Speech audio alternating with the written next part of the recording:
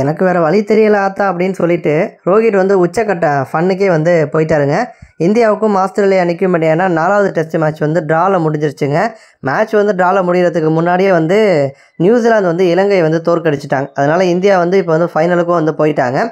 அந்த ஒரு உற்சாகத்தில் இந்திய வீரர்கள்லாம் வந்து இருந்திருப்பாங்க. இன்னொரு புறம் வந்து ஆஸ்திரேலிய அணியில் ரெண்டு விக்கெட் தான் வந்து விழுந்திருக்கும்.